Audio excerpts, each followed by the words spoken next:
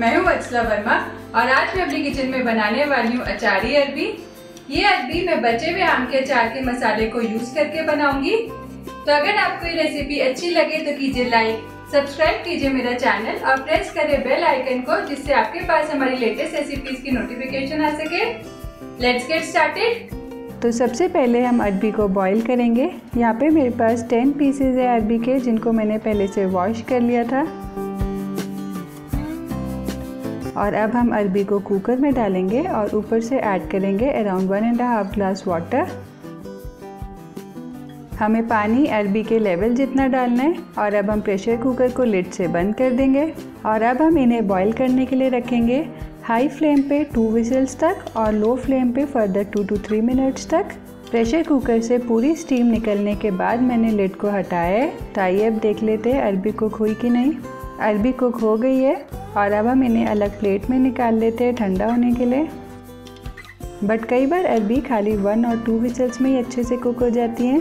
तो आप to whistles के बाद चेक भी कर सकते हैं। अगर अरबी कुक नहीं होती है तो आप फर्दर लो फ्लेम पर उसे टू मिनट्स के लिए रख दें।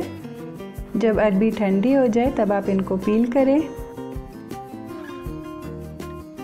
और अब हम इन्हें कट कर लेंगे लाइक दिस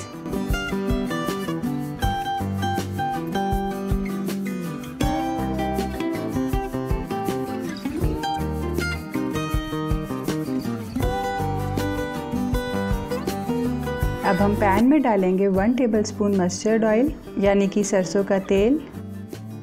तेल गरम होने के बाद हम इसमें ऐड करेंगे one by four teaspoon हींग और three by four teaspoon अजवाइन अजवाइन स्प्लटर होने के बाद हम इसमें ऐड करेंगे three by four teaspoon हल्दी powder three by four teaspoon red chilli powder one and half teaspoon धनिया पाउडर फ्यू सेकेंड्स तक मसाले को कुक करने के बाद हम इसमें ऐड करेंगे अरबी।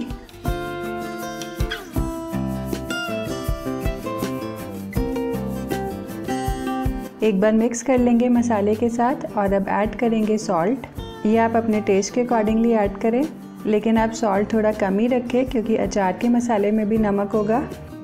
अब ऐड करेंगे हाफ़ टी स्पून गरम मसाला और ऊपर से ऐड करेंगे one and half teaspoon आम के अचार का मसाला।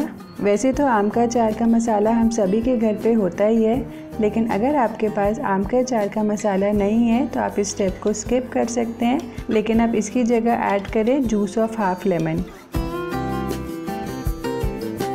और अब अच्छे से मिक्स करेंगे।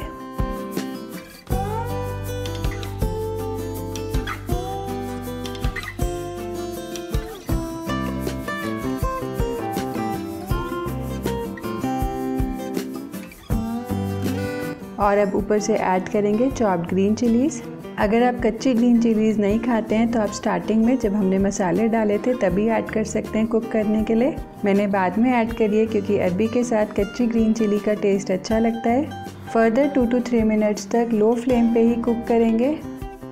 तो अरबी बन गई है, अब हम इसे सर्विंग बोल में निकाल लेते हैं. तो आम के अचार के मसाले को यूज़ करके हमने बनाई है क्विकली अचारी अरबी. अगर आपको ये रेसिपी अच्छी लगी तो शेयर कीजिए अपने व्यूज़ थैंक्स फॉर वॉचिंग